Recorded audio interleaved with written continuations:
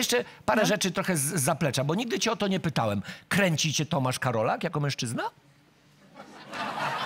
Po tych dziewięciu wspólnych No latach? kuźwa, po dziewięciu latach. Chciałbyś z nim po prostu mieć taki normalny, orgiastyczny seks. Tak, tak, jasne. Dobry żart kwunta wart. Jak możesz? Słuchaj, gdybym tak bardzo chciała, No. To naprawdę nie byłoby żadnego, myślę, problemu. Boję się! Co ty mówisz? Ale co, żebyś zrobiła tak i on by przyszedł z tą gitarą i mówił, wierz mnie. Naprawdę? A co, on jest tak napalony na ciebie?